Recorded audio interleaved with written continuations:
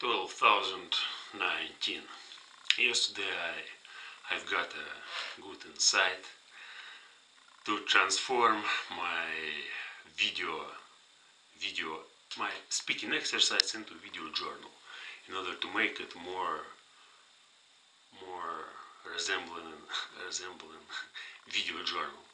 And it's actually a great thing because for me it's pretty hard to start every day from something new and where there was lots of inconsistency I just uh, didn't like this exercise so much and that's why I didn't record myself every day even if I set this goal to record myself every day after doing this several times again and again.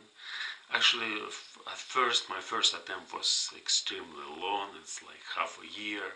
Then I started losing my control, and all the time I told myself I need to do this. But then, after I started it from, uh, after I started it uh, after a long break, I saw that there's no improvement. I still continue to use the same uh, words, the same language, uh, my accent isn't improved and all that.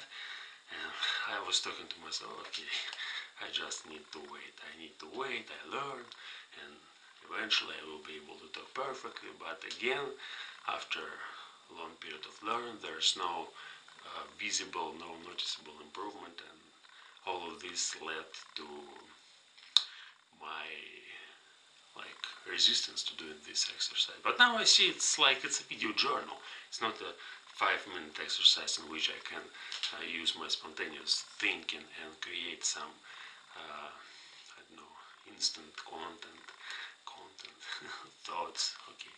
Uh, what's the, what is the video journal and what, what, what is uh, this thing about? Okay, thing about. I just will, will talk. It's now it's morning. It's uh, not precisely the morning. For me, it's morning because I wake up uh, maybe a year, a year, a year, an hour ago, and now there's the whole day in front of me. And I just will talk about uh, what I'm doing, what I'm going to do in this day, and I all also I want to describe or explain uh, why I will do it and uh, then I can analyze my uh, actions which I did previous day. For example, yesterday I told myself that I need to read a book, uh, David Copperfield, and also I was going to watch a lecture, a physics lecture, and I did all these two, two things and I've read 30, 30 35 or even okay approximately 35 I don't know exactly but I remember that it started from a page uh, number 500 and I achieved maybe 537 or 36 but it could start from page 1 501 I don't remember it exactly. But again I improved my reading because uh, when I started reading when I came, came back to this book a week ago. It was hard for me to read even two, two chapters, uh, approximately 15 pages.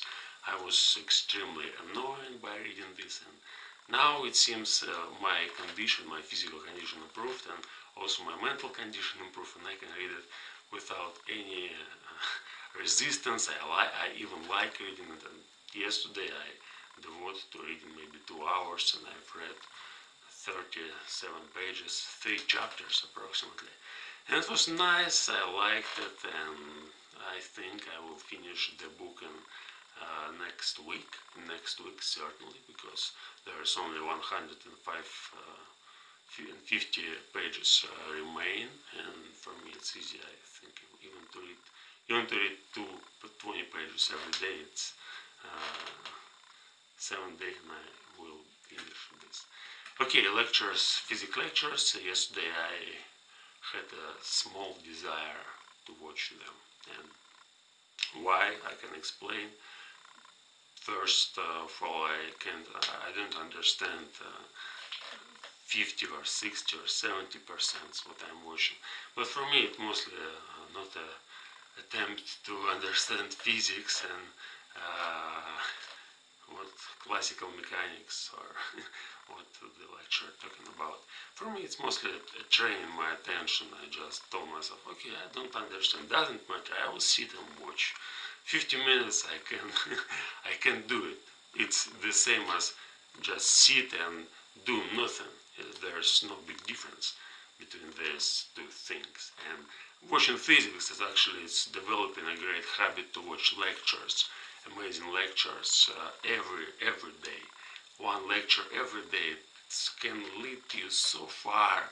Just one lecture, and even if you reflect upon that lecture, even if you get a habit to think about the lecture, at least like I am doing it right now, five minutes, I don't exactly think about the